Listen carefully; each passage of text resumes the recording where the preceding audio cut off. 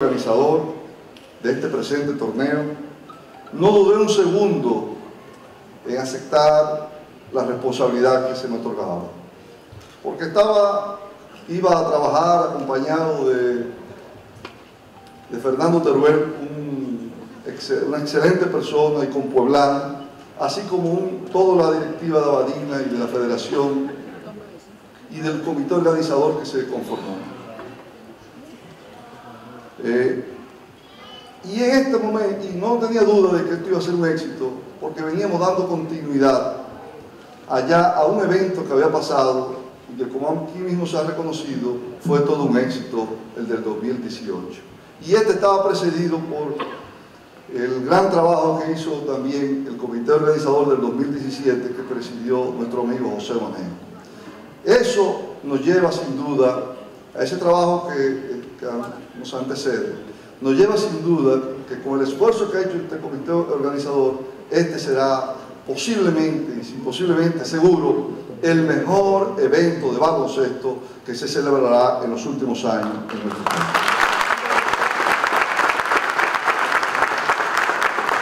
Ha sido una experiencia maravillosa que me ha permitido recordar a estelares jugadores como Hugo Cabrera, Vinicio Muñoz, Evaristo Pérez, Fran Prat, Bollón Domínguez, Maíta Mercedes, Manolito Prince, Pepe Rosón, entre otros.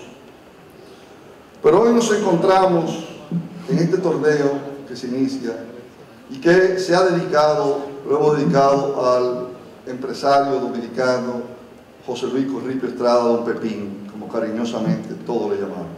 Un empresario que ha puesto siempre eh, todo su empeño en servir a, todas las, eh, al pueblo dominicano en sus diferentes vertientes, pero sobre todo en la parte deportiva.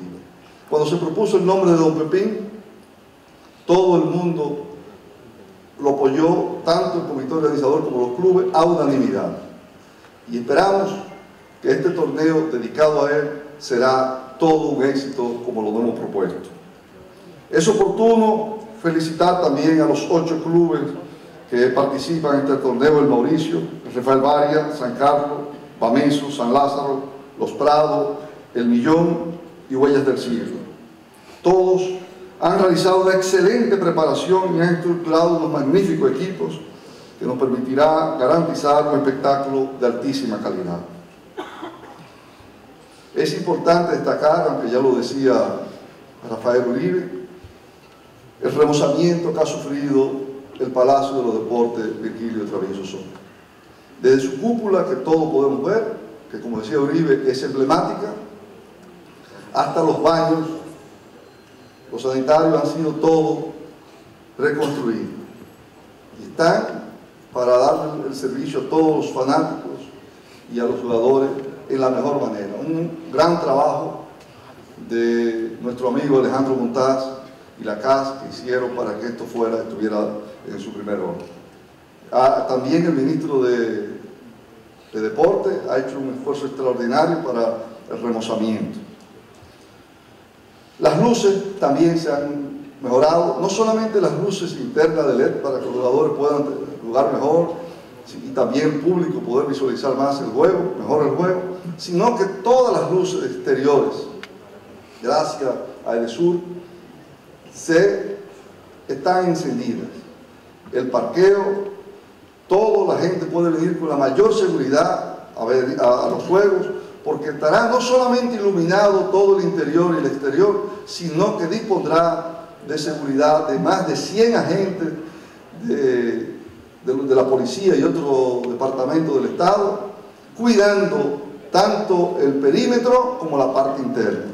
Y a esta parte de la seguridad también se han agregado más de 42 cámaras con dos centros de monitoreo, lo que aún garantizará más el seguimiento para que todo el que venga y toda la familia que asista pueda estar segura de que no tendrá ningún incidente y que no le pasará nada a su integridad física.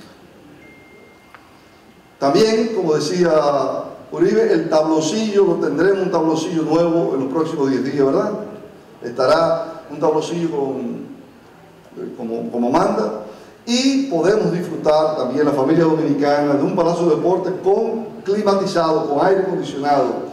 Para la, la persona que vaya, para toda la fanaticada, habrá servicio de Wi-Fi gratis. El transporte, la ONSA ha permitido que va a haber transporte no solo hasta que termine el juego de la ONSA para transportar a la fanaticada, sino también que de los barrios los clubes podrán llevar los fanáticos y regresarlo para que puedan acompañarlo en, cada uno de los juegos. Muchas gracias a la ONSA que se ha portado muy bien. En, términos de en lo que tiene que ver con, con los precios de las boletas, se han establecido muy bajos. Podrán participar todo el mundo. Estamos hablando de 100 pesos en la jornada eh, diaria. Y se ha establecido aquí, eh, los domingos habrá dobles carteleras.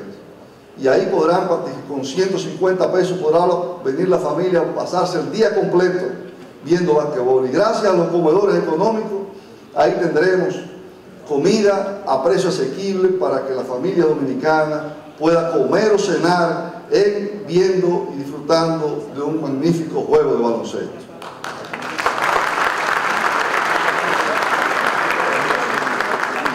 El aire acondicionado, que, está, que habrá aire acondicionado en este evento, ya más adelante nos hemos comprometido, eh, el gobierno, a que se instalará de manera definitiva para que tenga el Palacio de Deporte aire, una instalación nueva, unos chiles nuevos, pero como ustedes saben, eso lleva un proceso que debemos de cumplir, debemos de cuidar la forma y estaremos en ese proceso de licitación en las próximas semanas y meses, de manera que en este año el Palacio de Deporte tenga de manera definitiva su aire acondicionado y no tenga que seguir alquilando estos servicios de esto.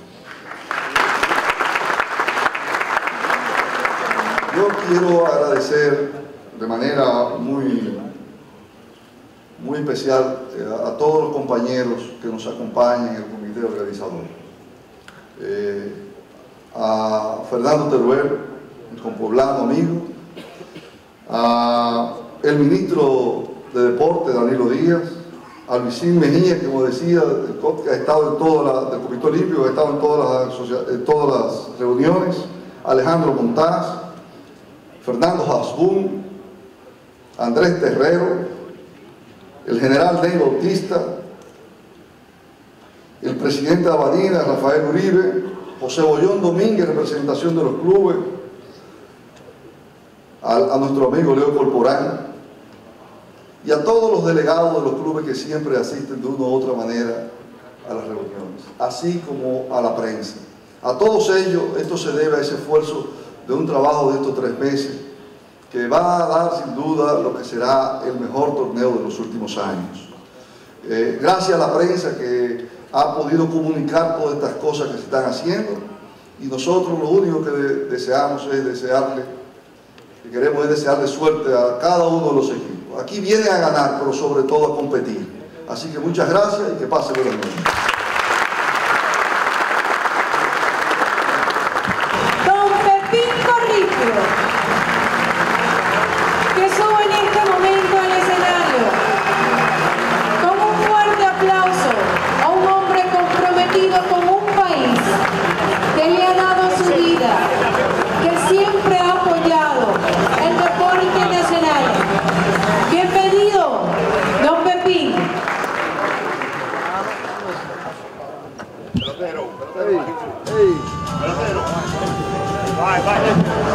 Las luces, las luces blancas.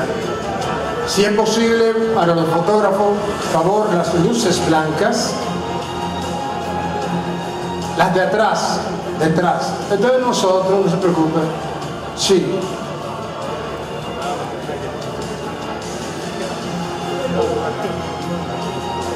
Ahí está el comité organizador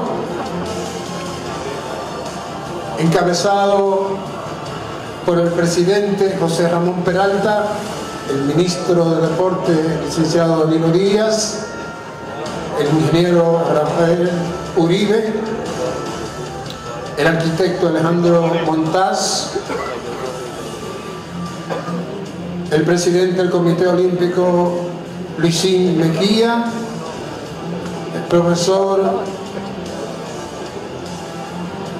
Fernando Teruel, así como el periodista que suscribe Leo Corporal,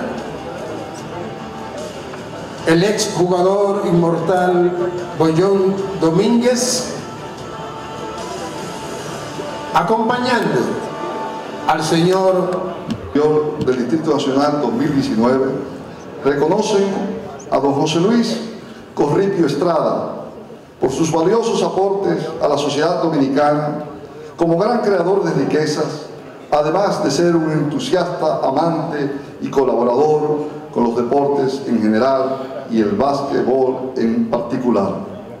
Fernando Teruel, presidente de Avalina, José Ramón Peralta, presidente del comité organizador. Dado en Santo Domingo el 3 de julio del 2019. Muy bien merecido.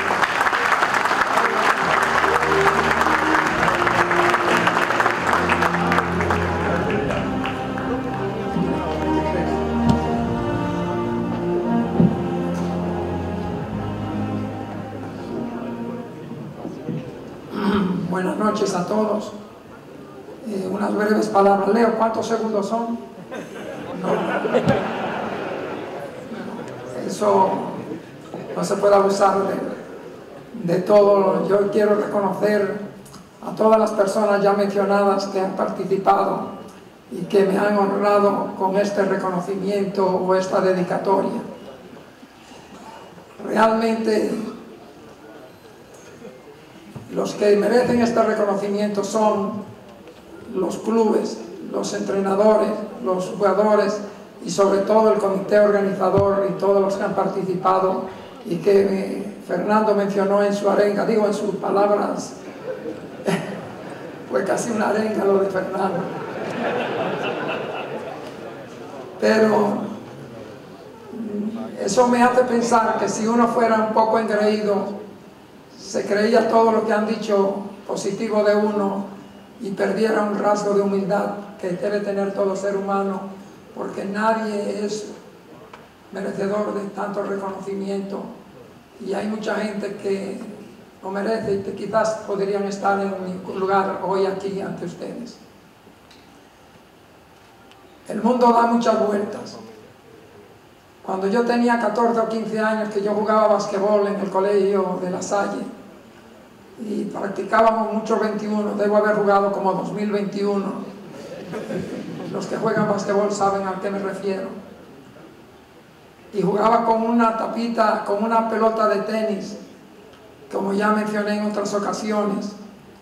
Eh, y el canasto era una latica de salsa de tomate que se clavaba en los dinteles de las puertas. Eh, nunca pensé que merecería ni que iba en mi vida a tener un reconocimiento de esta naturaleza. Me siento abrumado con todas las atenciones que han tenido conmigo en el día de hoy. Y yo quiero decir que lo importante es a los que dedican su tiempo y su vida a una actividad. Mucha gente cree que el dinero es lo más importante y es necesario para toda actividad en la vida humana. Pero aquellos que dedican su tiempo, que es irreemplazable y que no es cambiable ni reponible de ninguna manera, son los que merecen los reconocimientos porque esa es la verdadera dedicación invaluable que presentan a una